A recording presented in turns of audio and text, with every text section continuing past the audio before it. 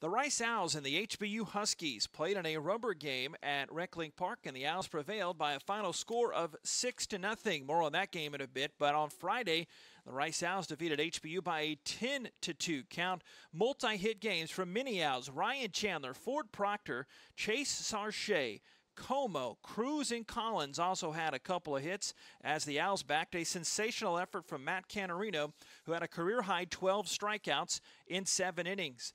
A marathon game on Saturday went HBU's way. They took an 8 to 7 win.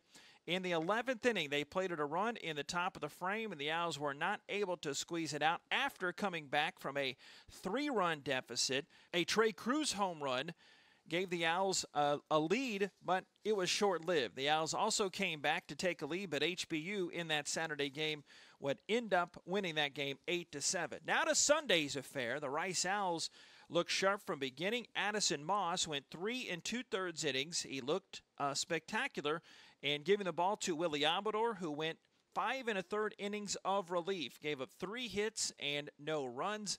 On the hitting side for the Rice Owls, Ford Proctor had a two RBI single in the third inning, but then the Owls got bases loaded walks in both the seventh and the eighth frames to seal the win.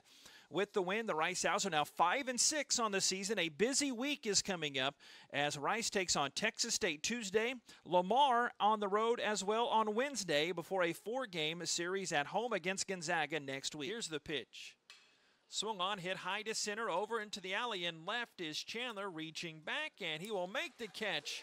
And that will end it. The Rice Owls take this victory by a final score of six to nothing. You can hear all of the action on RiceOwls.com and the Rice IMG Sports Network.